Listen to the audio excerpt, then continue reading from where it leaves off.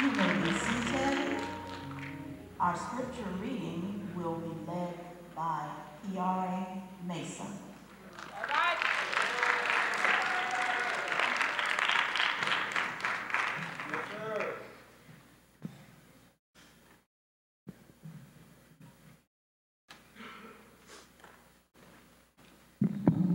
Romans 12, 2. And be not conformed to this world, but ye transformed, be renewing of your mind, that ye may prove what is that good and acceptable and perfect with the will of God.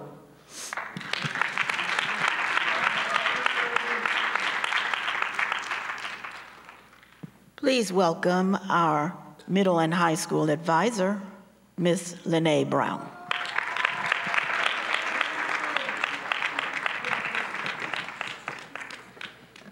Good morning. I'm here to welcome you all to the middle school class of 2023 promotion ceremony.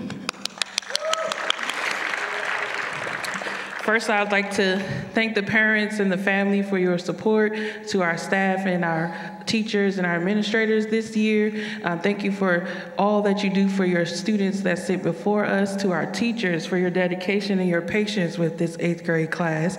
Um, and eighth graders, this is a this is not the end, this is the beginning of the hard part of your life, the ninth grade, okay? So next year we talked before in rehearsal about how important these next four years are and how they um, how they benefit you and your um, long-term journey all right? And now we talked about also talked about how you should be prepared for what is to come. So keep that in mind.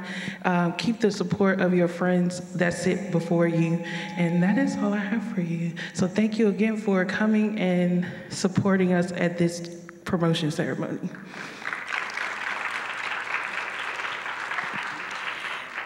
Please welcome our salutatorian, Mark Torrance.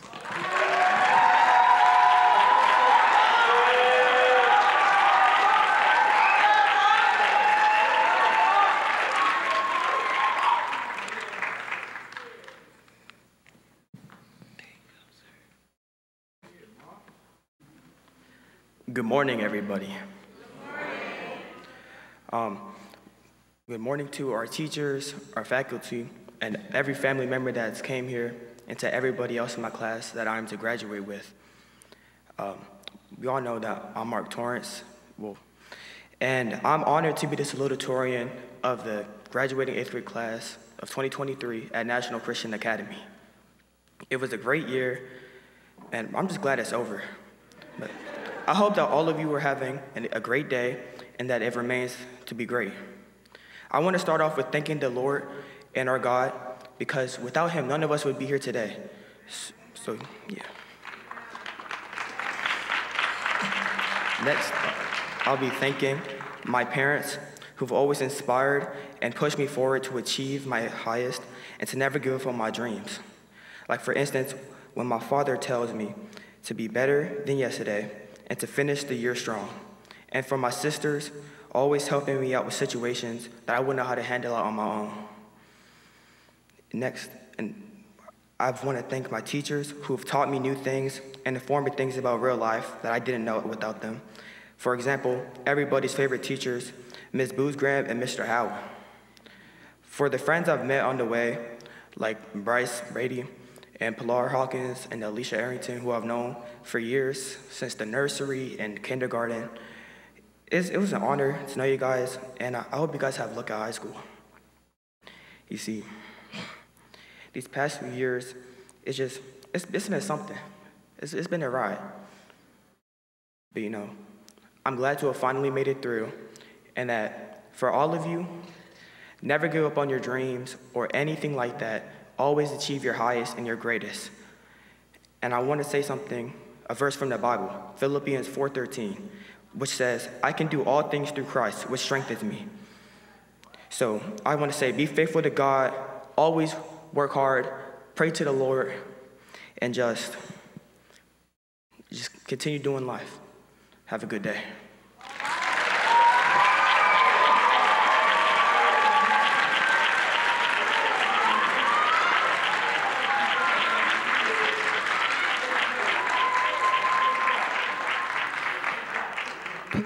Welcome our valedictorian, Pilar Hawkins.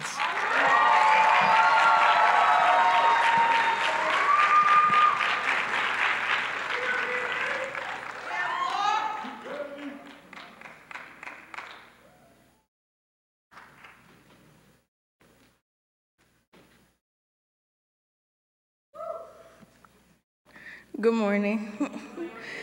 My name is Pilar Hawkins. I am the class of 2023, eighth grade valedictorian.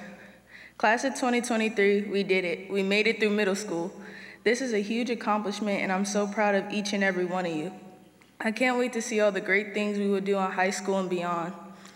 Now, I know graduation speeches are supposed to be serious, but I also know that eighth graders are far from a serious bunch. So instead of giving a long speech full of big words, I thought I would leave you with a few Bible verses and a quote. Romans 8 18.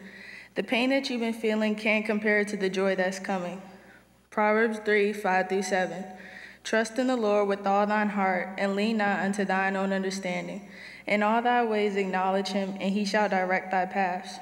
Be not wise in thine own eyes, fear the Lord, and depart from evil. Philippians 4 6. Don't worry about anything. Instead, pray about everything. Tell God what you need and thank Him for all He has done.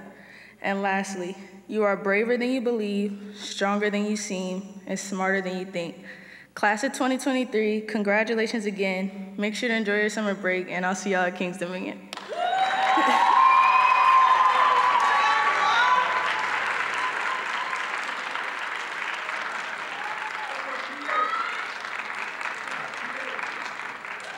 We will now have reflections from our Bible teacher, Mr. Bernard Howard.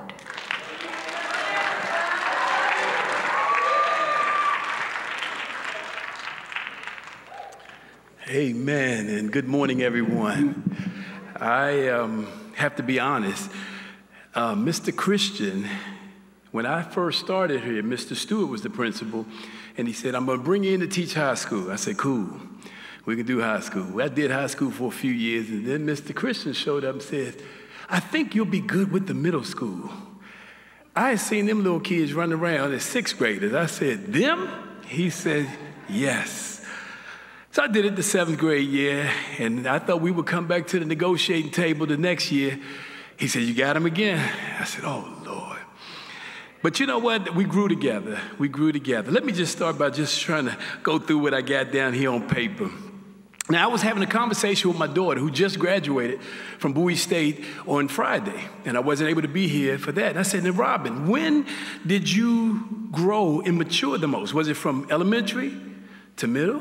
Was it from middle to high? Was it from high to college? She said, Dad, I grew in all of those phases.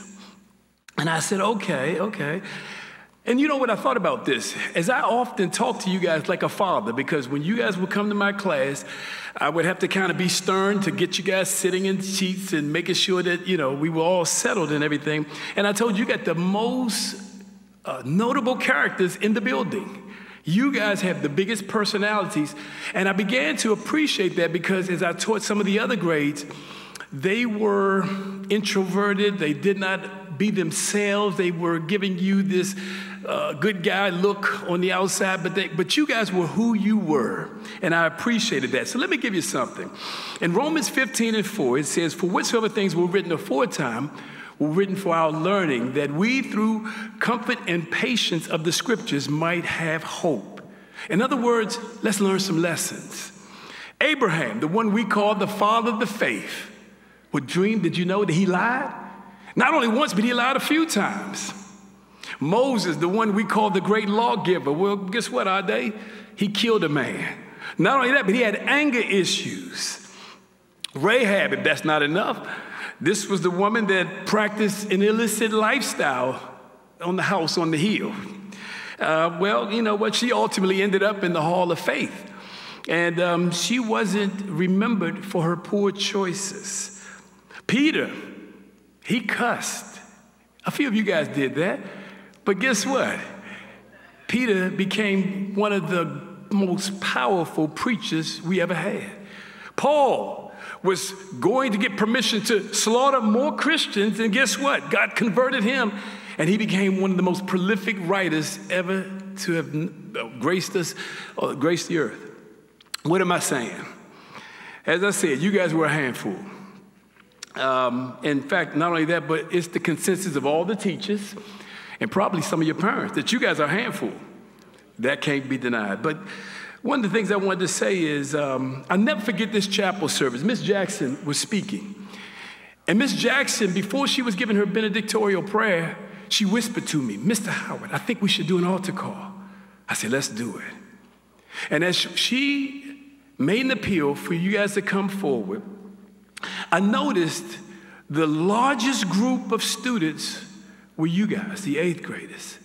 Coming up with tear filled eyes, we prayed for you. You submitted to Miss Jackson, you submitted to Miss Tyson, you submitted to me as we prayed for you. Well, later on that day, maybe the next week, I asked you guys in class, what made you come up? And it was a resounding, Mr. Howard, I wanted to be right with God. Mr. Howard, I wanted to be clean. Mr. Howard, I just wanted to be right. And you know what? All I could do was say, with all the adolescent mistakes that you guys made, it's a phase, it's a season. I plan on being here, whether you're here four years from now, the Lord tarry, when you guys are graduating from high school. And I want to give you this verse of scripture by Apostle Paul. 1 Corinthians, the 13th chapter, the love chapter, he says, When I was a child, I thought as a child, I understood as a child, I spake as a child. But when I became a man, I put away those childish things.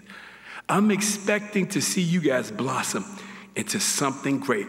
We're going to keep praying for you because we know that there is no limit to what God can do. God bless you.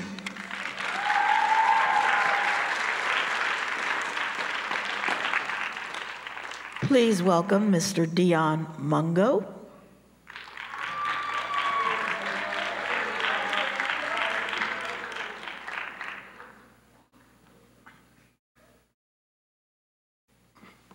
How you guys doing? Um, my name is Dion Mungo. I was their former um, sixth grade teacher. So to see them graduate and you know be promoted is uh, it's a, a, great honor for me. Um, I asked um, Miss Lene and uh, um, the, the vice principal, I couldn't think of his name. Uh, I'm nervous. This is, this is, you know, I'm very emotional thinking about you guys. Um, Mr. Hill, thank you, sir. Thank you, sir. Um, but uh, you guys are um, the catalyst for change. I've always instilled in y'all from the beginning for those who, who had me at the time that um, at the time you guys were still functioning like fifth grade elementary students in the sixth grade. And so it's, it's interesting that we're back here at this point where you're in the eighth grade and you're going to have to transition to going into high school. And so I was just thinking about what I wanted to tell y'all this morning, and what came to mind is that something that I've been thinking about recently is that as you get older, especially young people like yourselves, when puberty hits and all those things, you can tend to think that you can do a lot by yourself. But one of the greatest bits of wisdom that I'm finding out as a 30 year old man is that the higher you go, the more you're gonna need relationships. Okay? And so y'all gonna come to a time where your parents, you're gonna start rejecting what they're saying, you're gonna start combating what they're saying. But right now, if y'all can come to understand how to value what they're saying and recognize that they've been where you're going, that's going to help you to take that next step. All right? So I told y'all from the jump, when I first met y'all, my goal and my purpose was to make sure that your generation was better than my generation. So my generation, we didn't listen to our parents because we thought we had the internet, we had, you know, the style, we had all of these things that we wanted to just run and explore, but we missed out on the gift of what our parents had for us. But y'all have the grand opportunity of totally making a 180 and doing the opposite of what we did. So I'm gonna leave y'all with two things, a Bible verse and a, a, a quote. All right, so The Bible verse is Ecclesiastes chapter 4, excuse me, in verse 12, which says, And if one prevail against him, two shall withstand him, and a threefolded cord is not quickly broken. So what that's saying is, is that if you decide to have a self-made mentality, you're going to be overcome because by yourself, you will fall. Everybody in here has failed moving as an individual, but it says two can stand back to back and conquer, which talks about the power of relationship. And that three-folded cord, just like we've all talked about, and all the people that spoke before me, including you guys, is that, th- that three-folded cord is Christ in the midst of those relationships. So as you mature, y'all need to recognize that y'all need to have healthy, effective relationships that will help move you forward and not ones that are that seem well but don't mean well. All right? And then lastly, this is the quote. And this is this speaks to your future. If you choose to take heed to what I'm getting ready to say. God isn't trying to build a life for us that's better that is already, oh, I'm sorry, let me start over. God isn't trying to build a life for us. The better life is already built. He's trying to build us up so we can receive what He's already built. All right? So that's all I have. Have a good one.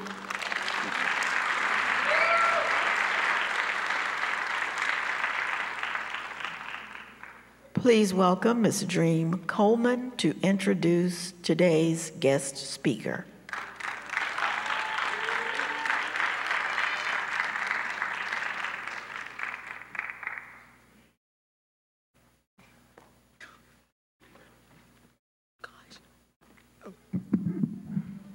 Take it off?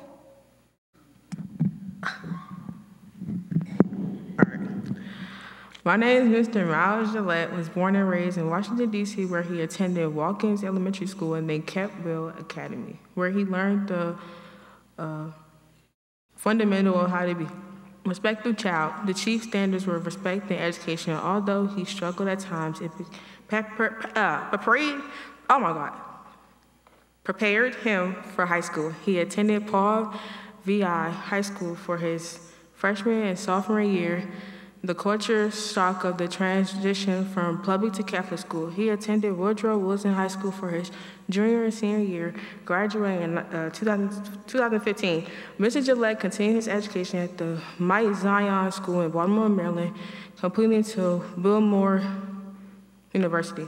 Mr. Gillette attended Wilmore University Wilkerton, Mayor, uh, Delaware on a full basketball scholarship for two years, pursuing a degree in uh, physiology while also maintaining a full-time scholarship in bas- basketball. Then the global COVID pandemic hit, closing school across the nation.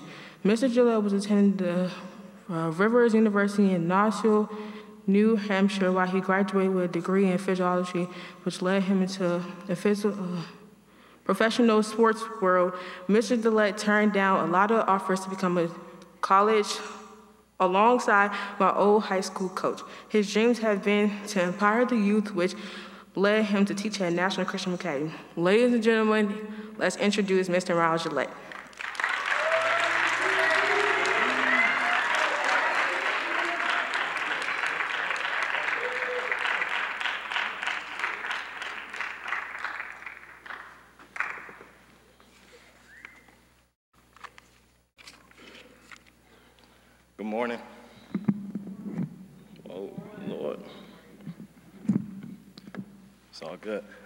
Dream kind of butchered a little bit of it, but it's okay. Uh, uh, I graduated with a psychology degree, and uh, the school that I attended coming out of Mount Zion was Wilmington University.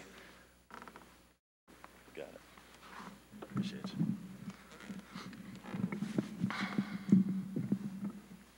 Thank you. Uh, first, I just want to say good morning. I'm honored to be speaking with you all this morning. Uh, I never in my life thought that I'd be a key speaker at a promotion. Um, first of all, I just wanted to show gratitude uh, to Mr. Hill, Ms. Lene, for choosing me to be the key speaker. Uh, I'm thankful to be able to work with your sons and daughters. Um, when I first got here, a lot of the kids didn't know how to pronounce my last name. And um, I said it was like the razor, and then that's when from there they understood that it was Gillette, and that's when we decided to build a bond. Um, a lot of these kids, uh, I look at them as you know younger brothers and sisters, so I try to hold them to a higher standard than what they were held to before I met them. Um, a little nervous, my apologies. Uh, so I became a mentor to them. Uh, a lot of times they would come in my room and they would just speak to me about life, more so about technology, which I was fortunate enough to teach here. Um, so I kind of was able to build a bond with Chase, Kiari, Bryce, Alicia, the whole eighth grade. Uh, and the words of encouragement that I have for these young ladies and gentlemen, uh, I saw Mr. Howard last week. He spoke about growing at the seniors' graduation. So I wanted to do something similar to that. And I just wanted to tell each and every one of you one thing. Uh, so first person I'm gonna start with is Ade. Uh, Ade, I think that you're a natural born leader. And I think that going into the ninth grade, you should take that leadership with you everywhere and just not the basketball court. Um, you don't need to be a follower ever. Use your God-given talent to lead others around you. Uh, next, Alicia. When I first met you, you were quiet, but the more you got comfortable, I realized how funny you are and you're a natural entertainer.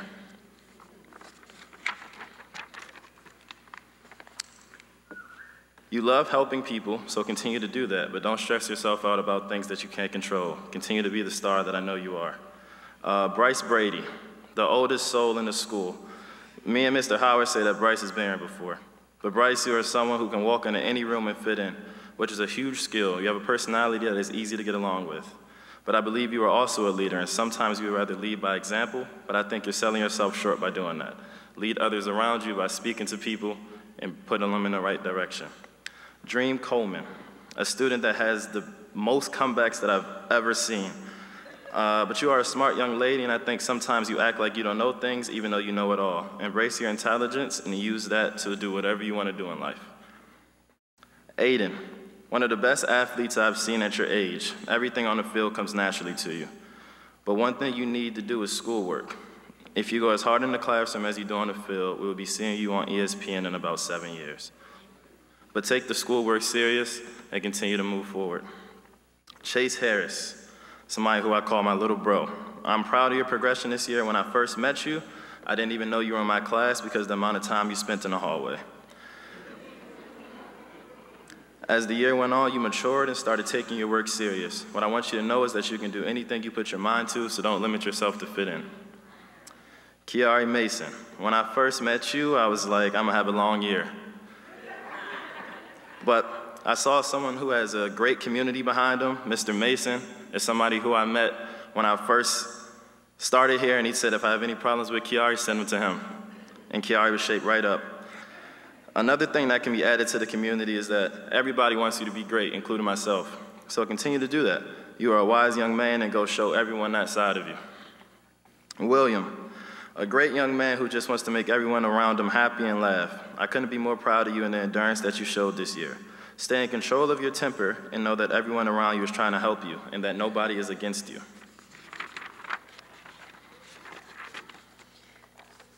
Pilar, Many of you know her as P-Day. She is so smart and mature, never have to tell her something twice, and that's a testament to how she was raised. I got the pleasure to work alongside her grandmother and her sister, knowing those two women makes sense why Pilar is so well-mannered. Pilar, continue to work hard and strive to be the lawyer or psychologist or whatever you want to be. There's no limits in life for you. Continue to be great. And don't fit in, continue to stand out. Mark Torrance, I have never met someone who has more stories than Mark. In addition to that, I've never met someone who's loved steak as much as him. He told me that the best thing that he can make is steak. And I asked him, You don't know how to make anything else? He said, No, I know how to make steak. So continue to make your steak, Mark. But I'm super proud of you and the amount of hard work that you have put into your academics. You are a bright young man. The knowledge that I can leave you with is continue to stay on top of your academics and continue to be a great person. Uh, the last thing I want to leave you guys with is just a conclusion. We're all thankful to be here. Um, I think that, you know, I was put here to obviously be a teacher, but I think that I was put here to be an older person to you guys and be relatable, that you guys could see that it's okay to be yourselves. Um, so thankful is the word that rounds up this whole speech, and I'm rooting for you guys to all be great. Whether you're here or you go to somewhere else, stay in contact with one another and always have each other's back, no matter what school you end up at. I appreciate you guys.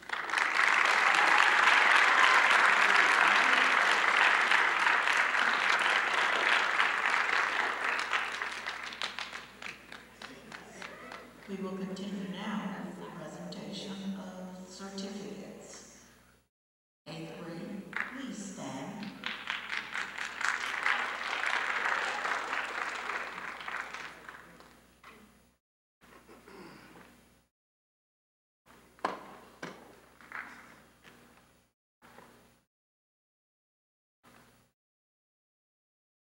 Adamola Adasokan.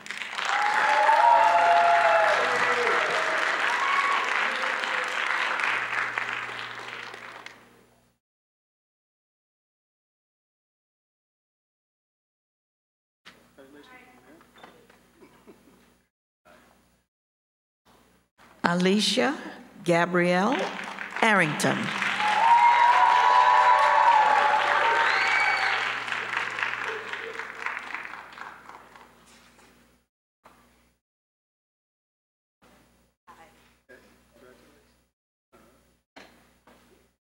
Bryce Jaden Brady.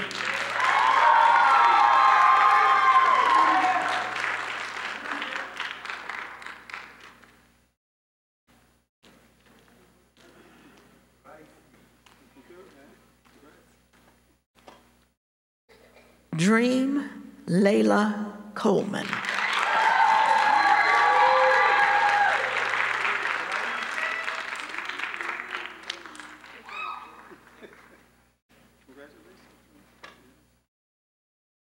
Aiden Wardell Royce Durham.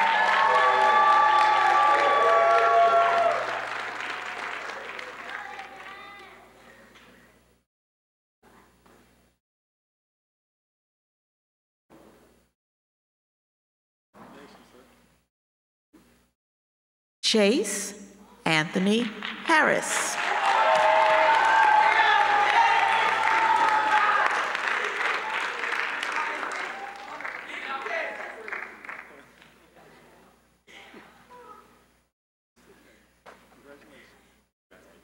Pilar Day Hawkins.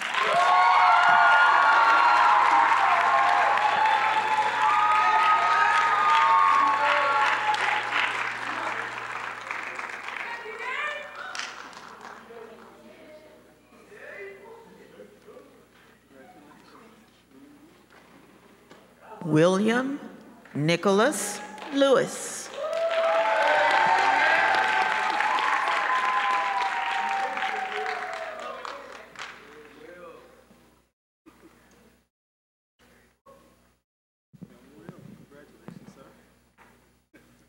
Kiare Marquise Mason.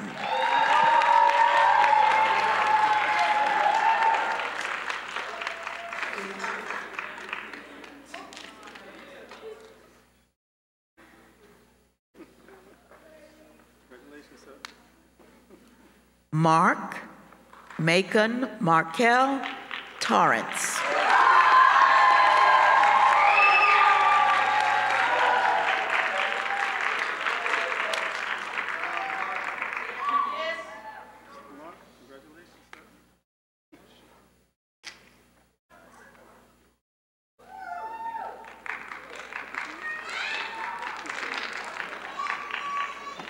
We will continue now with our parent appreciation.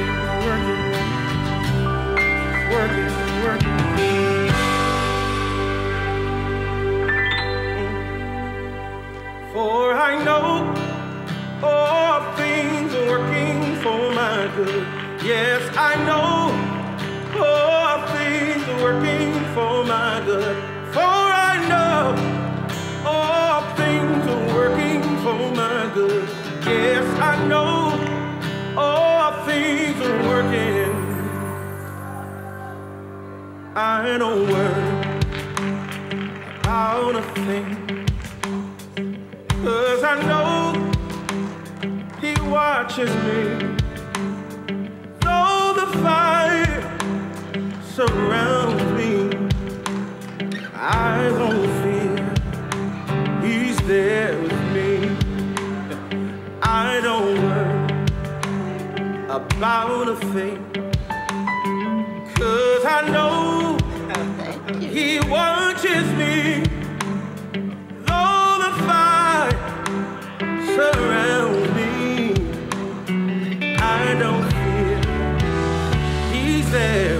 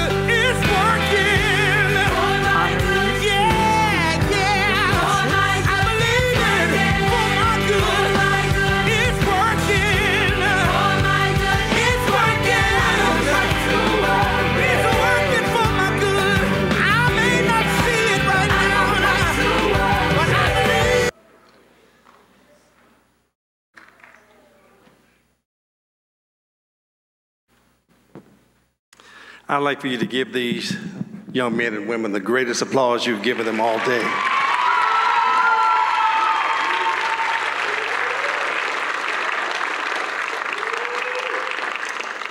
And I'd like to thank all of those who were part of making this happen today, starting with the uh, Principal Hill and Ms. Brown and all of the teachers and the staff. You did a wonderful job. And to the parents and families, thank you for entrusting your children to the National Christian Academy.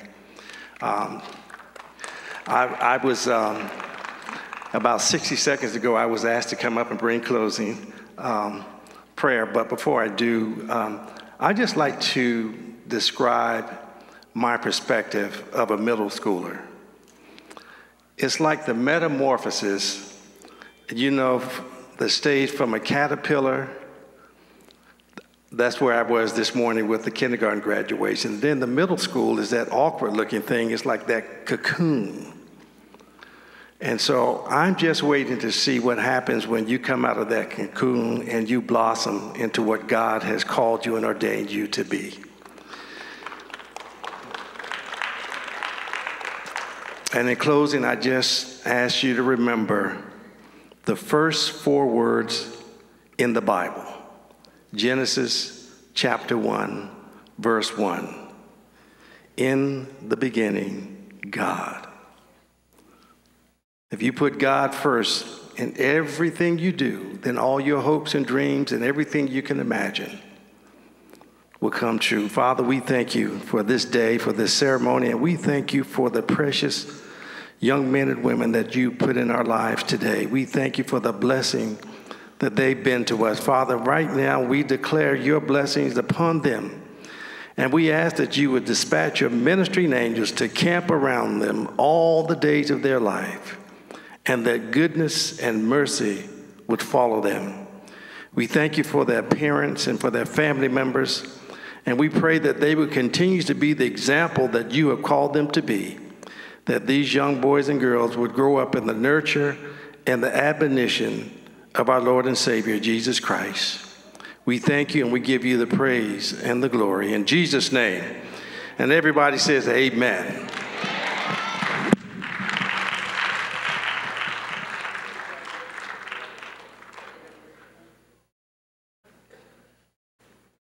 Okay.